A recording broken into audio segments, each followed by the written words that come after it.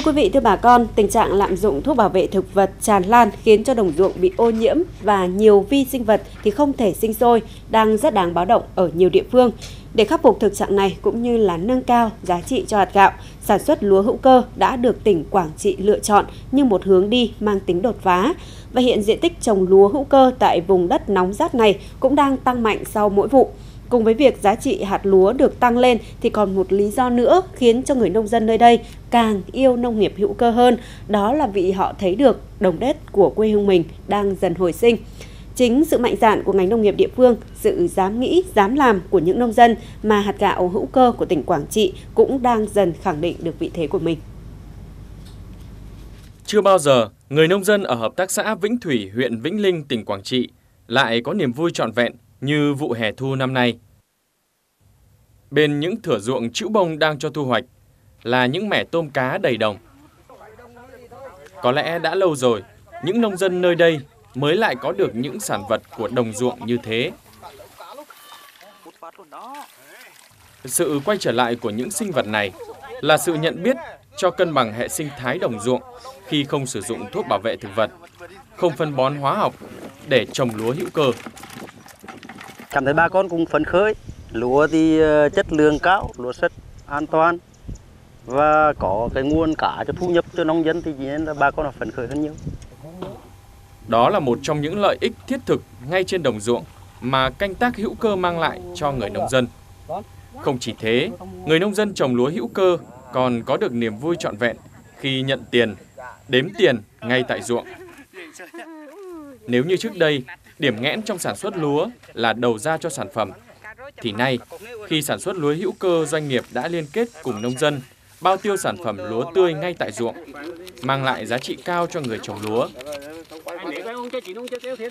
Nông dân quả phấn khởi là gọi vừa khỏi vừa được khỏi phơi rồi khỏi đưa vào về nhà rồi khỏi phơi mà lại được lấy tiền luôn thì gọi quả phấn khởi. Nếu như mà mô hình mà càng nở rộng thì dân càng mừng đấy. Vì có những khả xã có như là, là phát triển mô hình nhiều thì dân họ vẫn có như là hưởng ứng và là, là làm nhiều hơn. Từ lợi ích kinh tế cao, người người, nhà nhà đăng ký trồng lúa hữu cơ. Đến nay Quảng Trị đã thực hiện gần 600 hecta trồng lúa hữu cơ tại các địa phương trọng điểm của tỉnh, với sản lượng lúa tươi thu gần 3.500 tấn. Giá trị bình quân thu được trên 1 hecta lúa hữu cơ hai vụ là 96 đến 110 triệu đồng. Chúng tôi nhận thấy rằng là cái hiệu quả đưa lại nó rất là cao. Đây là nó vừa là về vấn đề kinh tế, về vấn đề xã hội và vấn đề môi trường. Và khẳng định rằng đây là một trong những xu thế trong cái vấn đề phát triển sản xuất trong thời gian tới. Và có thể nói rằng rất vui khi mà người nông dân vui bởi vì người nông dân bán được cái sản phẩm bằng cái giá trị của họ và vượt trên so với những cái canh tác bình thường khoảng 20 đến 30 phần trăm. Và đặc biệt là mừng nhất đó là cái canh tác hữu cơ đã đưa lại cái an toàn trong người sản xuất và đảm bảo cái an toàn trong cái chất lượng chính vì như vậy nó sẽ khuyến khích cái vấn đề phát triển đầu ra cũng như bảo vệ cho người tiêu dùng Người nông dân mắc nợ với đất khi có thời gian dài lạm dụng thuốc bảo vệ thực vật, phân hóa học trong canh tác lúa. Giờ đây, những nông dân đã tri ân đất khi trả lại màu xanh cho đồng đất quê hương.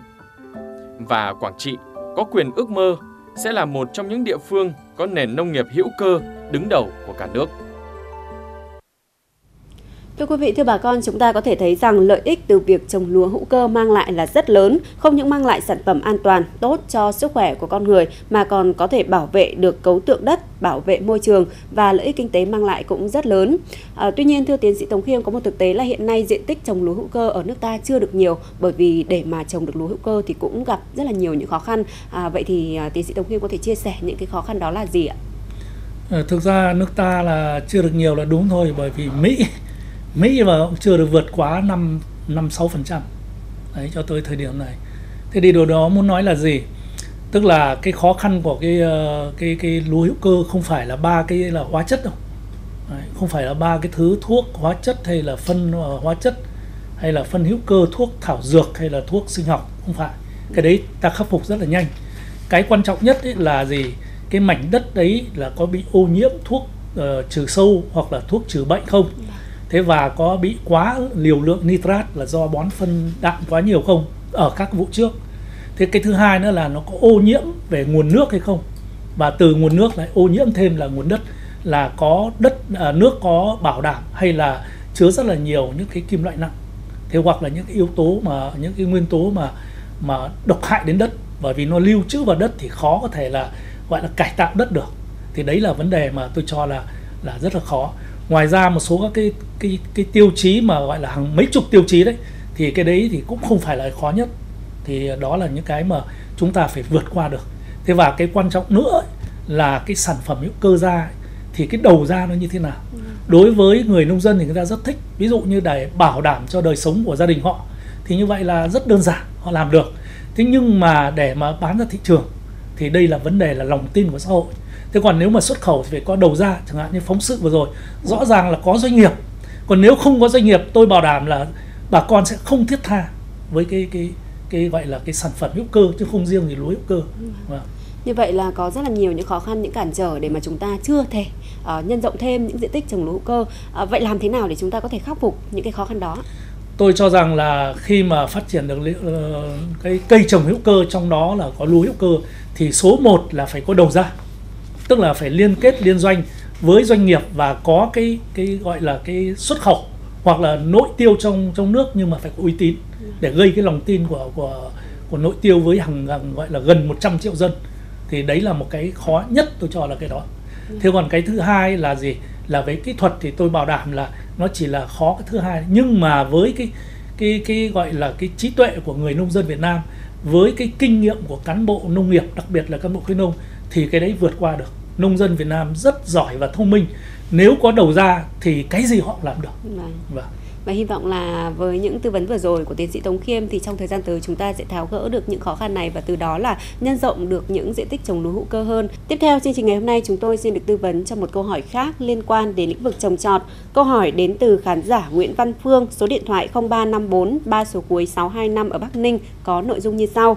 Cây dưa lê đang ra đợt trái đầu tiên và trong vườn thì xuất hiện nhiều bọ cánh cứng, châu chấu có màu vàng, nâu, cắn hoa bao tử, hoa cái, khiến cho hoa bị rụng hết. Vết cắn rất là nhỏ, thành từng miếng. Mới bị hai ngày hôm nay và tôi vẫn chưa cho dùng thuốc, hỏi nguyên nhân và cách khắc phục như thế nào. Ngay sau đây xin được mời tiến sĩ Tống Khiêm tư vấn câu hỏi này ạ. À, vâng, à, cái này là do là có thể gọi là côn trùng ừ, hay gọi là các loại sâu. Côn trùng thì là cái danh từ ờ, chung.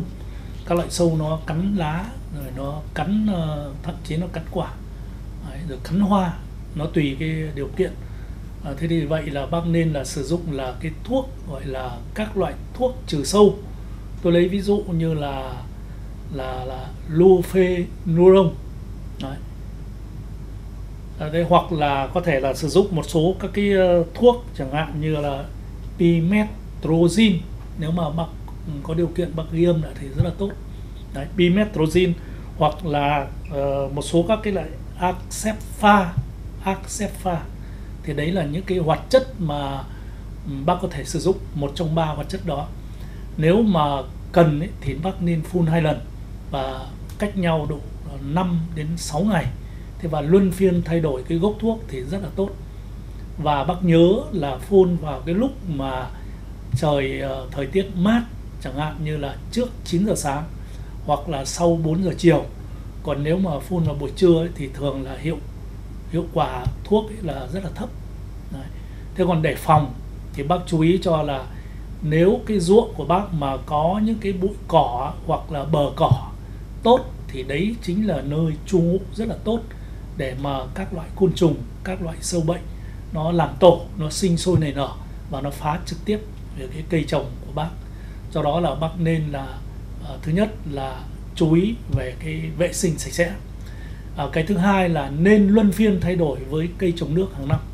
Đấy, không nên là chuyên chỉ ở trồng cây trồng cạn, đúng không ạ? Thế và khi mà làm đất thì bác nhớ là nên xử lý đất để diệt tất cả các loại trứng sâu sâu thì cái lúc đấy là khả năng là không có đất nhưng mà trứng thì là vẫn có thể có và các loại vi khuẩn cũng như là các loại nấm bệnh mà nó có trong ở đất bằng hình thức là dùng vôi bột. Bác có thể với cái liều lượng là từ 35 cho đến 50 kg trên 1.000 mét vuông tùy cái điều kiện mức độ pH thấp hay là cao hoặc là cái áp lực sâu bệnh của vũ trước nhiều hay là ít. Vâng. Vâng, xin cảm ơn những ờ, tư vấn vừa rồi đến từ tiến sĩ Tống Khiêm. Và ngay lúc này chúng tôi lại tiếp nhận được tín hiệu từ một cuộc gọi trực tiếp. Không biết rằng là khán giả có những thắc mắc liên quan đến lĩnh vực nào đây thì ngay bây giờ chúng ta sẽ cùng kết nối để có thể trò chuyện với khán giả. Vâng, xin chào khán giả. Vâng, thì, uh, chào bác ạ. Vâng, khán giả có thể Cháu giới thiệu đôi nét với hội tên của mình ạ. À, vâng, cháu tên là Duy ạ. Thì là Tại vì cái cháu cũng trồng tí cây bưởi cũng được mấy tháng rồi. Dạ. Khi khi mà đánh về trồng là nó cũng hơi to to rồi. Vâng ạ. À, cháu cũng không hiểu tại sao mà này nó cứ cái cái cái, cái cây bưởi nó cứ chảy cái chảy cái nước vàng ấy. Vâng Xong ạ. Thì nó rất mềm xong rồi nó khô rồi xong là nó cứng lại. Mà khoét cái đấy ra thì nó cũng chả có lỗ gì cả. Cháu đang nghi ngờ là sâu ấy. Khoét ra thì cũng chả thấy gì cả. Thì chuyên gia tư vấn cho cháu là không biết là cái bệnh đấy nó là cái bệnh gì nó tưởng là nó chết được tưới nước vào nhưng mà nó vẫn cứ chết nó không nó không hồi phục. Dạ vâng, xin được mời khán giả lắng nghe những tư vấn đến từ tiến sĩ Tống Khiêm ạ. Vâng, trước hết là cảm ơn cháu là mô tả rất là kỹ cho nên chúng tôi khẳng định ngay không phải là sâu. Đó là cái bệnh nó gọi là thối rễ xì mù do nấm gây hại. Đấy. Vâng, Đấy, thế bây giờ cháu kiểm tra xem là có đúng không là bằng cách là bới ờ, gốc lên ta kiểm tra cái bộ rễ đúng không ạ? Thì nếu mà nó thấy là màu vàng sẫm này hoặc là chớm đen rồi thì đó chính là thối rễ do nấm nó gây hại và là do đất của, của mình là quá ẩm hoặc là do mình tưới quá nhiều mà chỉ nên là, là tưới mức độ thôi. Thế thì cháu nên sử dụng ngay cái thuốc này. Đây là cái thuốc mà là là chú cho là rất là hiệu quả đối với diệt nấm trong đất gây cái bệnh thối rễ. Đấy. đó đó là gì? Forcetin aluminium hoặc là Vâng. madipropamat cộng với chlorothalonil thì đây là là hai cái hoạt chất bác ờ, cháu có thể sử dụng bất kể hoạt chất nào cũng được. Và nếu mà nặng quá thì cháu nên tưới hai lần vào cái vùng rễ là cách nhau độ khoảng 5 6 ngày. Thế còn để phòng để phòng thì ờ, bệnh này là do nó đất nó quá ẩm cho nên cháu nên để cái độ ẩm đất xung quanh hay gọi là vườn vườn bưởi ấy, vâng, là 70% thôi. Đấy. Dạ vâng, Thế- thế còn cái thứ nữa là cũng phải chăm sóc theo quy trình. Bởi vì mới trồng tức là gì? Cháu phải là bón ít nhất là 20 cân phân chuồng ngoài mục đúng không ạ? Vâng. thế còn đạm lân kali thì hàng tháng cháu có thể là tưới một lần hoặc là bón nếu mà trời mưa này thì bón một lần. Mỗi lần ví dụ như là một lạng cháu có thể bón cho là 10 cây. Đấy thế như vậy là 12 tháng trừ tháng 1 đi thì có 11 tháng cháu có thể là bón năm thứ nhất là như vậy. Là cứ mỗi một ờ, cây là là tức là 10 cây là một lạng. Đấy, hòa ra tưới hoặc là rắc. Đấy là cái cách gọi là cách chăm sóc và bón phân để để nó tăng cường sức khỏe thì nó sẽ hạn chế được tối đa những cái bệnh trong đó có bệnh thối dễ xì Vâng. Vâng, xin được cảm ơn những tư vấn vừa rồi của tiến sĩ Tống Khiêm và cảm ơn khán giả đã đặt câu hỏi về cho chương trình của chúng tôi ạ.